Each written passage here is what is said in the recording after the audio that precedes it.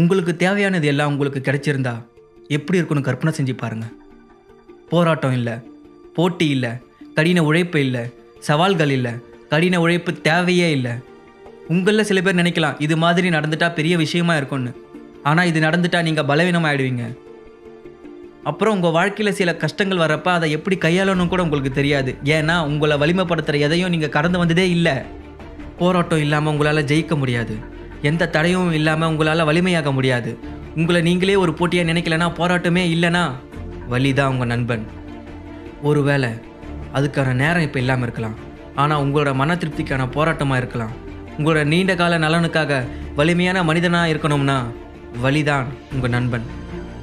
உனக்கு தோல்வியே இல்லை உனக்கு போராட்டமே இல்லை நீ மற்றவங்களால ஏமாற்றமே அடையலை அப்படின்னா உனக்கு வலிமை இல்லை தைரியம் இல்லை இறக்க குணமும் இருக்காது. எப்படி இருக்க முடியும்? அந்த குணங்கள் உன்னோட வலி மற்றும் போராட்டத்திலிருந்து உருவாகுது. உனக்கு வலியையும் கஷ்டத்தையும் கொடுக்குறாங்கன்னா அதை கையாளுற போதுமான வலிமையும் சக்தியும் உன்கிட்ட இருக்கு. உனக்கு இந்த வாழ்க்கை கொடுக்கப்பட்டிருக்கு அப்படின்னா அதை வாழ போதுமான சக்தி உன்கிட்ட இருக்கு. ஏன்னா அந்த வாழ்க்கையும் கடந்து போகிற சக்தி உன்கிட்ட மட்டும்தான் இருக்கு. இதை தொடர்ந்து முயற்சி செய். மற்றவங்களுக்கு சொல்லி கொடுத்து ஊக்கப்படுத்து. அப்புறம் அவங்க உன்னை பார்த்து சொல்லுவாங்க அவன் சாதிச்சிட்டான். அவன் சாதிச்சிட்டா. அதை என்னாலையும் சாதிக்க முடியுன்ற வலிமை எனக்கு இருக்கு. நீ நினைக்கிறத விட நீ பலமானவன். உனக்கு வந்த எல்லா சவாலையும் சமாளிச்சிட்ட இனி வரப்போகிற சவாலையும் உன்னால் சமாளிக்க முடியும்.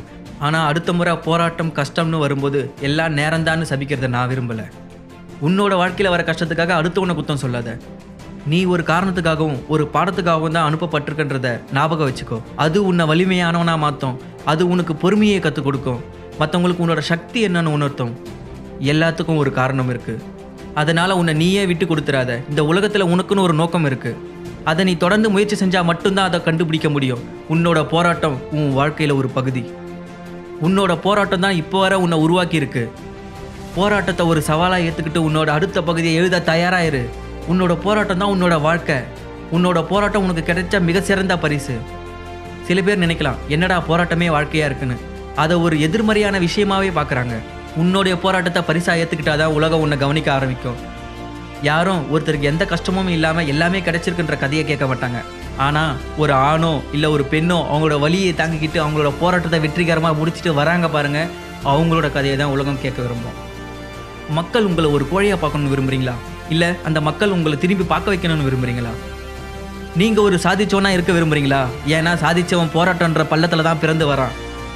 பயம் ஒரு கற்பனை படம் மாதிரி ஆனால் உண்மையில் ஒரு போராட்டம் உண்மைதான் போராட்டம்.